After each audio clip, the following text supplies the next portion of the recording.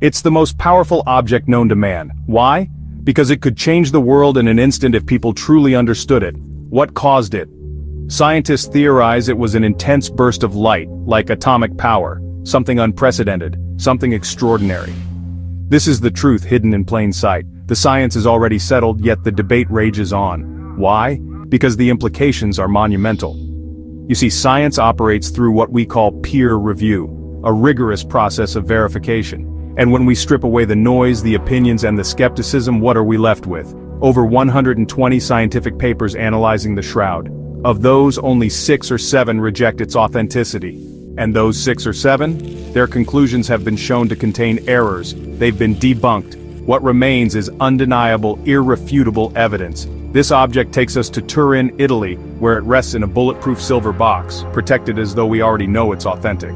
This is the Shroud of Turin, a long linen burial cloth believed to have wrapped the body of Jesus of Nazareth. Every discipline of science and history has studied this cloth, and what we've discovered places it in the right time and the right place to be him. The flax, science shows it was grown near Syria, the pollen and dirt, most of it comes from Jerusalem, where the events of his life and death unfolded. Even the head cloth, a forensic match to the shroud, comes from Jerusalem.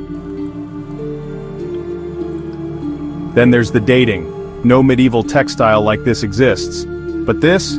It's first century. Using the latest WAXS dating techniques we now have confirmation. It aligns with the time of Jesus.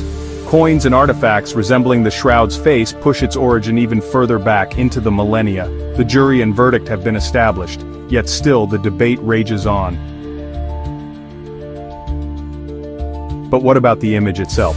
Peer-reviewed science has ruled out every possibility, it isn't paint, powder, liquid, burning, scorching, sunlight, or any other artistic method. The image is so superficial it defies explanation. It's beyond human capability to create. The imprint is thinner than the width of a human hair. There is no paint soaking into the fibers, no brush strokes.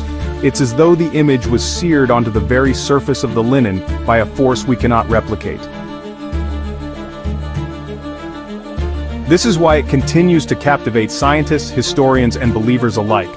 The Shroud of Turin is not just a relic, it's a mystery that defies logic and invites us to look deeper.